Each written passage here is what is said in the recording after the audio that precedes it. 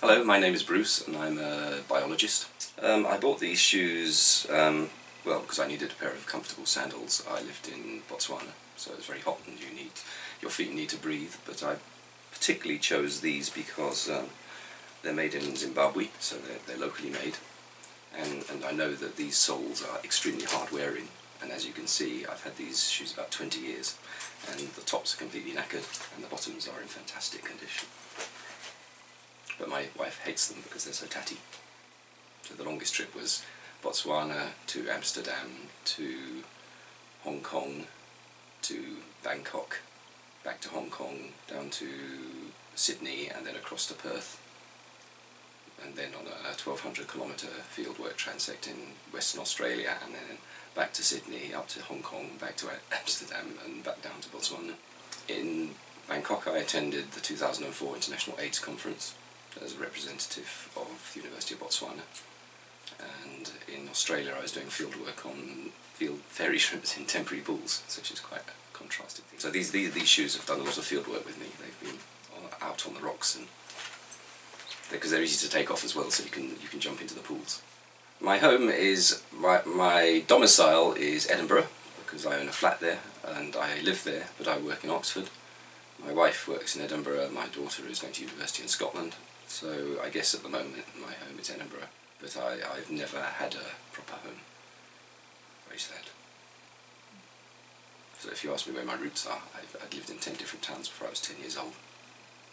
So I have none. Um, I've had lots of experiences out in the bush in Botswana, but I think one thing that sticks in my mind is I wore these shoes to the AIDS conference, and uh, they, they, were still quite new in those days. And, um, and then I saw an identical pair on a person walking into the conference venue in front of me, and so I immediately guessed he was a Zimbabwean, he was a Zimbabwean doctor. And uh, it was just a sheer coincidence because these shoes are made by a very small manufacturer in, in Zimbabwe and they're not exported beyond southern Africa. When I tie up my laces, I'm usually just thinking about getting to work on time. But um, the laces on the shoes I'm wearing, I, I have a particular story because uh, they're a consequence of me breaking my ankle last year because I didn't them up properly and ended up tripping on one in a toilet. I can work extremely long hours some days, actually many days. Um, but then I get pleasure in a lot of what I do when I'm doing that. But yeah, it's um, because I've got uh, the family spread all over the place. Um, I, I, because of the cost of living in Oxford, I live in a shared house, so I, I get also get kind of stimulation from my housemates. Uh, it's nice because it means that I'm not just stuck in this. I'm either with colleagues from work or, or I'm at home. You know, kind of more diverse set of acquaintances and friends and things. There, there are jobs I don't like. I don't like any administration. So if I know I've got to do a heavy administrative job sometime, like my PDR review, which is the one that's due at the moment, then I really hate it. And I constantly procrastinate and try and find other things to do. You feel the class system a lot in Oxford compared with Edinburgh and certainly compared with Botswana. You see, it's, it's, it's Botswana, uh, Oxford always seems to take itself a little bit too seriously. You know, it's you feel Everett, you feel the elitism in Oxford. You see the sort of gated entry points to all the colleges and that kind of thing, and it's it feels a bit snobby, be honest. Um, well, materialistically, food and good health and security, um, education. Um, for me, um, I don't, I'm not really interested in material things, but experiences and, and the, keeping the brain active. Uh, I'm an academic and I love the unknown, I like, love intellectual challenges. I don't, and, and I hate sort of just empirical information. I, I don't want to be a repository of information, I want to be someone who is looking for answers to things we don't know, not just delivering stuff we do know. I think of myself as a global citizen.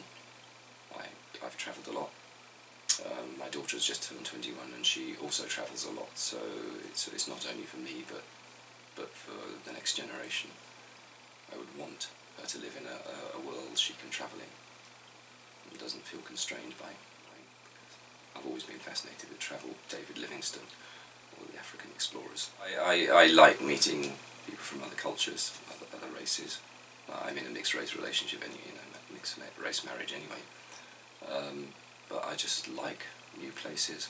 But I like, uh, I also like to return to old places I remember with particular affection. So I would always go back to Southern Africa. Um, I, I just love the unknown. I'm an evolutionary biologist, so so I, I love find, uh, sort of testing evolutionary ideas about biological phenomena, um, and and I, I love teaching. I, I really enjoy teaching. I, I love being in front of a class. I, I love my family, um, and we when you you live your life through your children a lot as well. You want to make a footprint. I, I don't want fame or anything, but I want to know that people I've taught particularly have gone on to great things. It, one of the greatest pleasures you get in academia is when your students go all the way to PhD you know, and, and they remember you. So, so, for example, last year I went to a graduation at UCL of one of my ex-undergraduates in Botswana and he's just got a PhD. Um, brought up in a little village outside Gaborone, the capital of Botswana and his external examiner said it's one of the 10 top 10% of PhDs they'd ever read and you know that you played a role in it. You, um, particularly if you're teaching in a developing country, you know you make a difference. And I go back and I look at all the people in in government ministers and things who are involved in wildlife and, and uh, uh, environmental affairs and things, and I talk most all of them. That's, I'd like I'd like you to because in a sense I've be I've lived a bit of history, so I, I'd like you to see the things that made me so I'd like you to explore my memory and, and see the things that resonated with me through the memory, the, the formative experiences. Africa's my first love. So I, I'd just like to go spend much more time in Africa and the Kalahari. There's something very special about being out there. And I have a, I'm, trying to put together a research project which will take me back there. I've travelled a lot around the world, but that always comes number one. Just, for some, some reason when you've lived there, it affects you that way.